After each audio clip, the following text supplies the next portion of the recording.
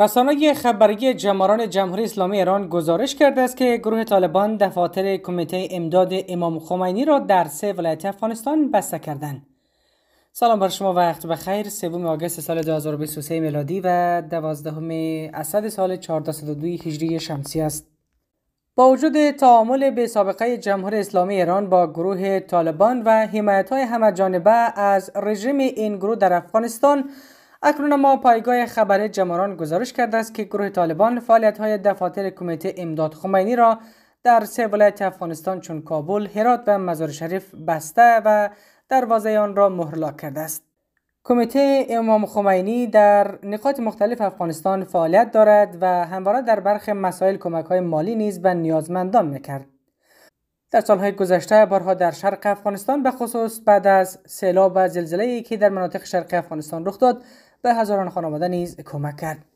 امروز پنجشنبه پایگاه خبر جماران گزارش کرده است که این دفاتر به دستور نیروهای طالبان مهرلاک شده است. کمیته امداد امام خمینی سازمان شبه دولتی است که به فرمان راه الله خمینی بنیانگذار نظام جمهوری اسلامی ایران در 14 حدود 1357 هجری شمسی فعالیت خود را آغاز کرد. این کمیته در طول سالهای گذشته دفاتر خود را در افغانستان هم باز کرده است. فعالیت این نهاد از تابستان سال 1377 در دوران حکومت اول طالبان متوقف شده بود اما پس از سقوط دولت طالبان دور دوم کار کمیته امداد خمینی در سال 1381 در شهرهای کابل، مزار شریف، هرات و زرنج از سر گرفته شد.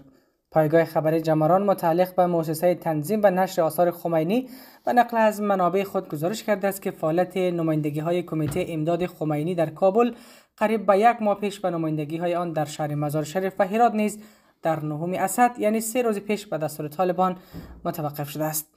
گفته شده است که نیروهای طالبان به نمایندگی های کمیته امداد خمینی در شهر زرنج نیز مراجعه کردن اما فعالیت آن تا بکنون بستن نشده است و متوقف نیست.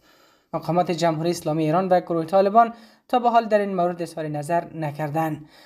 اما جبران به نقل از منابع خود در افغانستان گفته است که گروه طالبان بدون هیچ دلیل و سند موجه و یا سند حقوقی دروازه های کمیته امداد خمینی را در سه ولایت بسته کرده است. این در حالی است که جمهوری اسلامی ایران در دو سال گذشته یکی از حامیان اصلی طالبان بوده است. آنان حتی به افرادی که علیه طالبان مقاومت مسلحانه می‌کند نیز در ایران اجازه فعالیت های سیاسی نداد. در طول دو سال گذشته کمک های بیشمار نیز به گروه طالبان از سوی جمهوری اسلامی ایران صورت گرفتند.